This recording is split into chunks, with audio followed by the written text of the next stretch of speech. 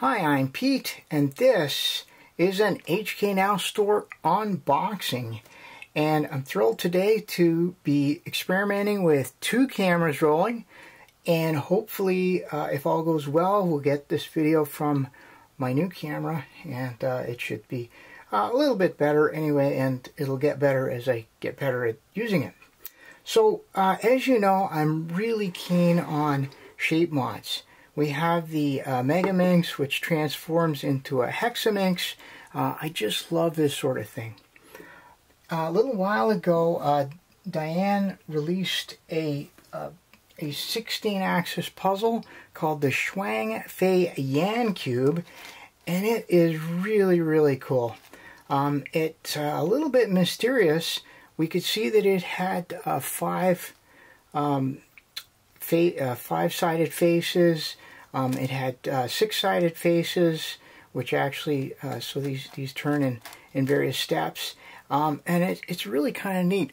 But I must admit, I had a bit of trouble visualizing the puzzle and a bit of trouble uh, discovering uh, what are legal turns and what are illegal turns, right? So in order to, uh, for example, if I have a five-sided um, center, which is right here, and a six-sided center, it's not a legal turn to turn a five-sided center edge onto a six-sided center. That's not a legal turn.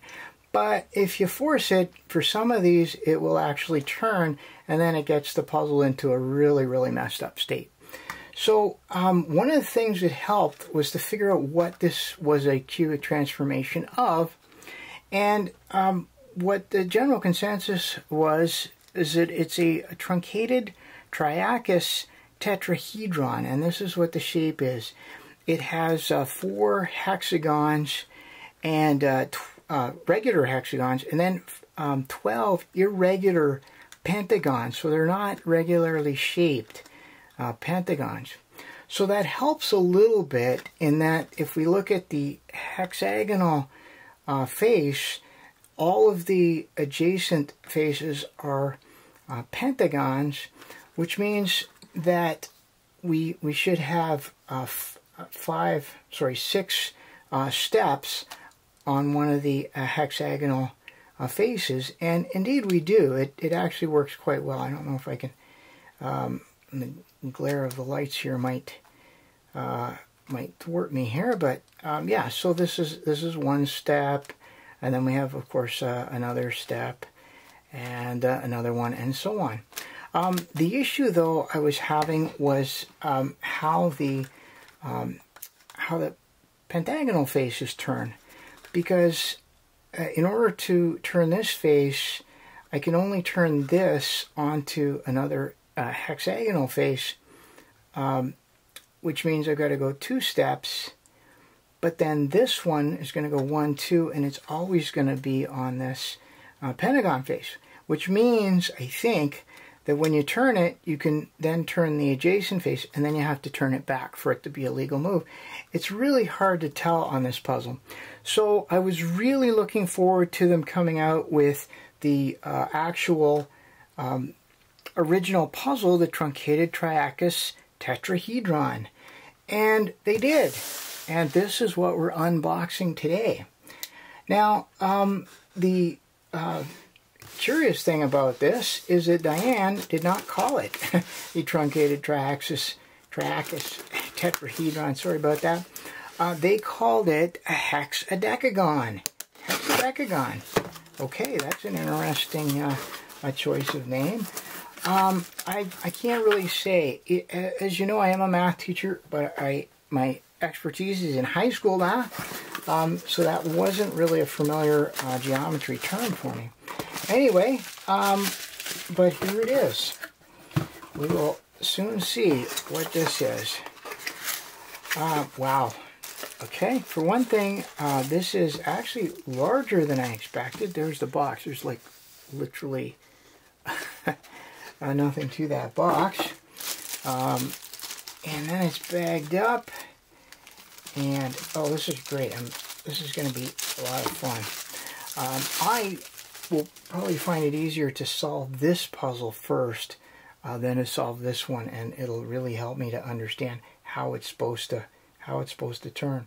So I wonder if I got this right. Um, let's let's just compare here. So there's my um, hex face, and then there should be, yes, there are all these uh, pentagonal faces around, and you can sort of see the pentagons are not really all that regular. They're, the pieces are a little bit squished, I think. Um, yeah, so you can see that this is not a regular pentagon, which is exactly what we're expecting from this puzzle. Okay, well, let's see how it turns. Okay, well, that's, that's quite nice, actually.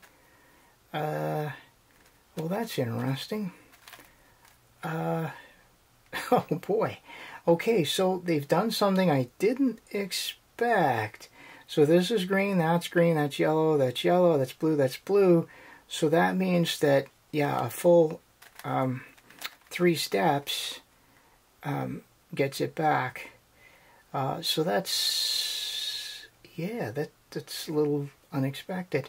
But I guess it I guess it makes a certain amount of sense for their color scheme. A very simple color scheme.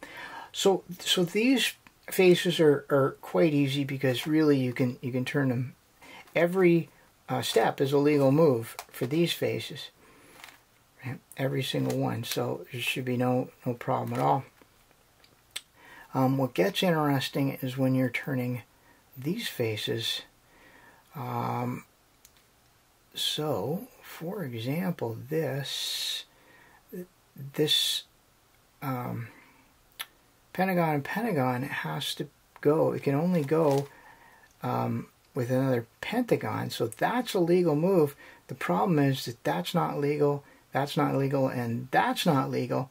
So if I if I make this move here, let's say that I, I move this, uh, wow, and they've they've also colored the um, pentagons and hexagons the same. Wow, I kind of don't like this color scheme. Okay, so that's legal, but now in order to make this correct, I would have to turn it back. And now it's correct. And now everything is should be good. Don't know. Don't know. okay, I'm not going to scramble this too much. Um, okay, well that's uh, that's fascinating. Um, it's uh, I, I wasn't expecting this very limited color scheme, but it may actually make sense for the puzzle.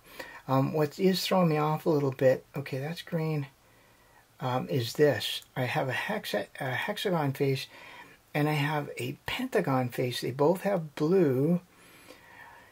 They're both adjacent to a yellow um, pentagon, which means that, that this is going to look, yipes.